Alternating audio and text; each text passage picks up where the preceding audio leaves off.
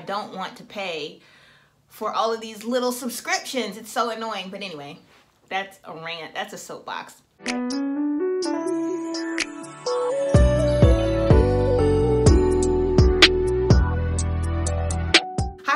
Love Always Endures. Welcome back to my channel, and if you are new here, welcome. So today I'm going to be talking to you about a subject that is really near and dear to my heart, and it is budget and money management.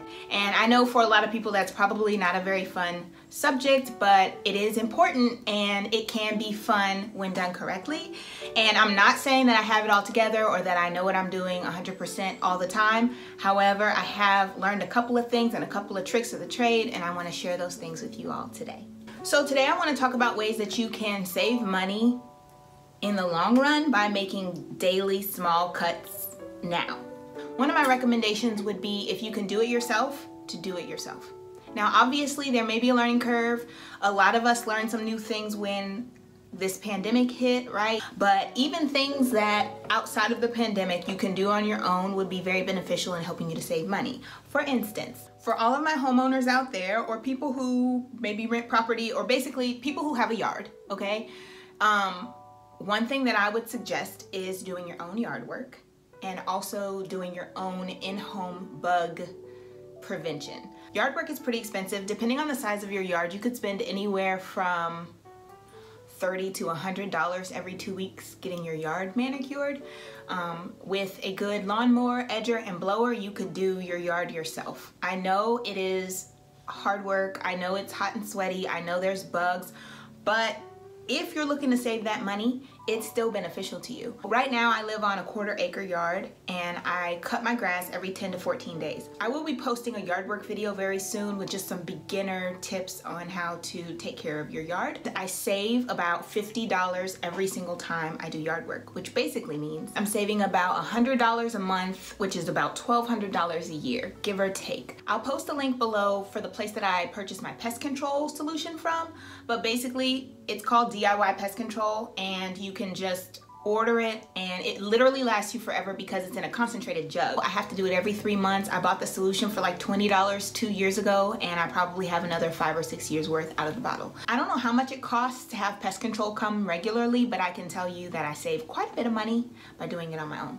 Also, for those of you who get your waxes done outside of the home, I understand certain waxes, it really is better to have somebody else who can see better and can get a better angle, but some waxes, the easy ones like bikini waxes and armpit waxes are super, super easy to do on your own at home and they save you a lot of money. So if you do the math, there's people spending upwards of $70 to get waxes done when waxes that are super simple and easy like that can be done with a $10 bottle of wax that's gonna last you several months. Here's some other small tips just for everyday life. How many of you pay for Netflix and you have multiple friends who pay for Netflix? How many of you, better question, how many of you mooch off of someone else when it comes to their Netflix? Well, for those of you who are like me who don't necessarily feel comfortable mooching but hate subscriptions, like I really do hate monthly subscriptions. The only thing I want to pay monthly are my bills. You know what I mean? Like my actual utility bills and my mortgage. I don't want to pay for all of these little subscriptions. It's so annoying. But anyway, that's a rant. That's a soapbox. So for Netflix, what I did was I reached out to a friend who had a Netflix as well and I asked her if I could hop on her account. And what I do is I pay her my half of the Netflix bill every six months. So every September 1st and every March 1st, I cash app her $40. Basically the bill is $160. She pays 80 a year and I pay 80 a year but I pay six months at a time. Does that make sense? And it pretty much saves me some money every month and it's super, super easy. Another thing that I do to kind of save money is take shortcuts, I guess you can call it. So um, finding different ways that you can pay for a service, but not pay all the way for a service. For instance, there are ways to make your nail trips not cost so much. And for me, that meant I was doing my own manicures at home, so that saved me an extra $10. And, oh, and I was taking my nail polish off myself. That saved me $5, okay? And I know it don't seem like a lot, but it saved me money. Also, I don't get my toes done year round. I mean, let's be honest, ladies. We not out here with our toes out and about in the wintertime. And again, I was doing in-home pedicures. If you wanna see a video on how to do those, let me know and I'll make sure to make one for you all, but it's a pretty simple process. I get my hair trimmed professionally every three months.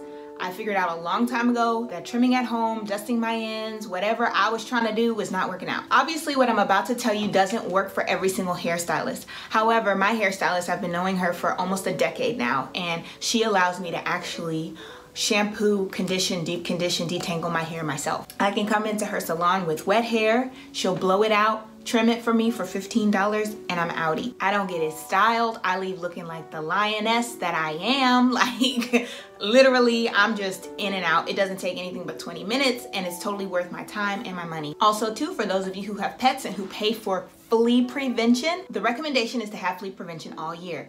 Trust me, I know that that's the best thing, especially depending on where you live, what climate, what state, I get it. However, as you know, your girl is always trying to save a buck, okay? And I just can't get it through my thick skull why I have to pay for flea treatments in the middle of January when it's freezing cold here still. You see what I'm saying?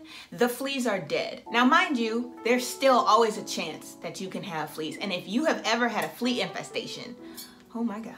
So the way that I get around this is I only buy six months worth of flea treatments at a time.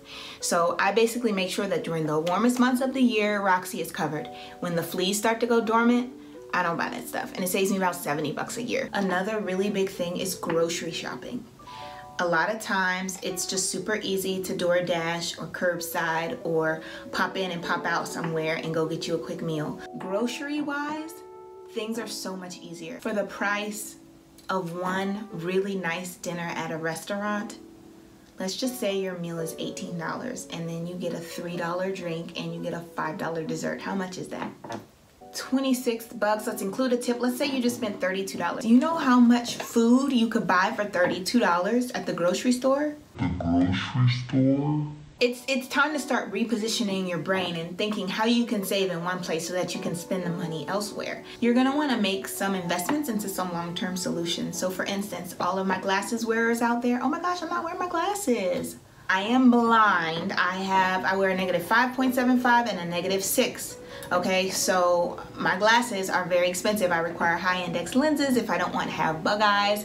And it normally costs me about $300 every two years to get a pair of glasses. Not to mention prescription contacts. I'm usually looking at, if I want like a year's worth, I'm usually looking at about $150 to $200. So you do the math on that and it adds up. Well, I've decided I want to go ahead and get LASIK. I've already done the math and found that I would save a lot a lot of money, y'all. A lot of money by getting LASIK and not ever having to pay for glasses and contacts ever again. I get a yearly eye exam. Quick, easy, and simple. It's covered by my insurance. Like, why haven't I done this sooner? If you find that you're always renting something, like just on a regular basis, you have to rent it, it makes sense to just go ahead and invest in it and buy it honestly to buy one to have it and then you can use it as much as you want and you don't have to pay a rental fee for it every single time whether it's a piece of yard equipment whether it's a tool whatever it is a lot of times if you find yourself spending so much money if you sit and you do the math on how much you spend renting this item in one year how much would it cost to buy it. Another way that I skimp is carpets. So um, the recommendation for getting your carpet cleaned is every six months. But I purchased the Spot-Bot, which cost me about $100. I have a pet. If you have pets, if you have kids, uh, if you eat in rooms besides your kitchen, this might be beneficial for you if you have to deal with little stains and spills and stuff like that. I basically use my Spot-Bot when there are puppy accidents. I do in-home puppy boarding and sometimes there are accidents that happen and I use my Spot-Bot. It's super, super easy.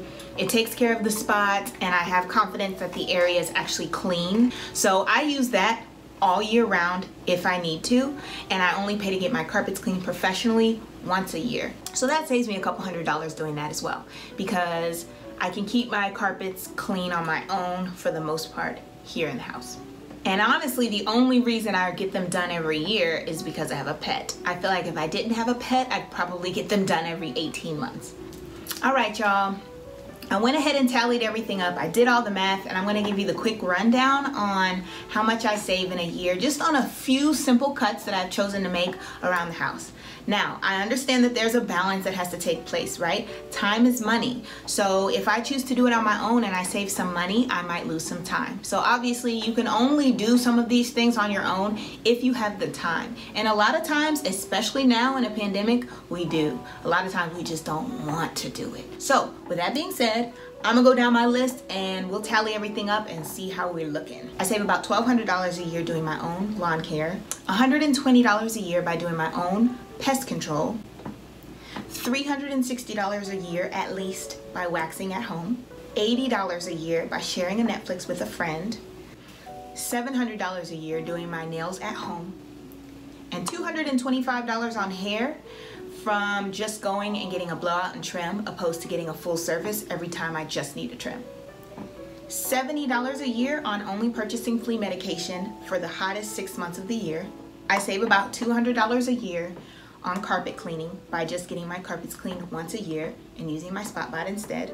So that adds up to a grand total of $2,955. So I'm basically saving three grand a year at least just from making those cuts. And trust me, when you get into a routine of doing certain things on your own, it doesn't become a chore anymore. Like it would sound like a chore right now, like man, I gotta start doing my nails on my own and my waxing and my hair and da da da da. Trust me, if you slowly work yourself up to it, over time it becomes a lot easier. It just becomes part of the things that you just do on your self-care night. Obviously, there are a bunch of other things out there. Please feel free to leave comments on your thoughts on any additional tips and tricks you might have. I love healthy dialogue, so if y'all have picked up on anything else in your life day to day where you can save money by cutting back, let me know because as you know, I am more than willing to put in the time and the effort and the energy if it's gonna help me to save some money because what can I do with 3,000 extra dollars? I could leave the country a couple of times. Oh, y'all, I should do a budgeting series on traveling. That'll be, ooh, I need to write that down. So for $3,000, I could leave the country at least twice. I could pretty much pay for my LASIK procedure. I could buy two giant schnauzers. I could almost pay a full year worth of my car note. You could buy three iMac computers. You could put a down payment on a house. You could purchase two Louis Vuitton masks for the pandemic. You could probably purchase yourself a whole new wardrobe for $3,000, especially if you focus on like your basics and stuff like that. Easy, easy. Basically, there's just a lot of things you could do with 3000 extra dollars every year, and that's all from making cutbacks. So obviously, people spend their money on what's important to them. Always keep that in mind. People will spend their money on wherever they've prioritized to spend their money. You have to know where your priority lies when it comes to spending your money. Because even a budget bug like me knows how to drop a big lump sum of money on something, but it's gonna be something that is important to me that I feel is gonna help me in the long run to save money over time or to be more sustainable or just to have a better quality of life. Don't be mistaken, just because someone penny pinches doesn't mean that they might not drop a grip of money somewhere, but they're penny pinching so that they can do that and they can put that money exactly where they want it to go. That's all I have for you all today. I hope that what I said was educational and that something stuck out to you and that it's something that you feel like you can use for the future and help you save your coins. If you have any questions or any comments, please feel free to leave them in the comment box. Like I said, I'm looking forward to some healthy dialogue and discussions when it comes to saving money and being good stewards of the money that we've earned. Also, make sure that you like and subscribe and click that notification bell so that you can know about my future uploads and you can see what I got going on on my channel. So I hope to see you all next time. Thanks so much for tuning in. Goodbye.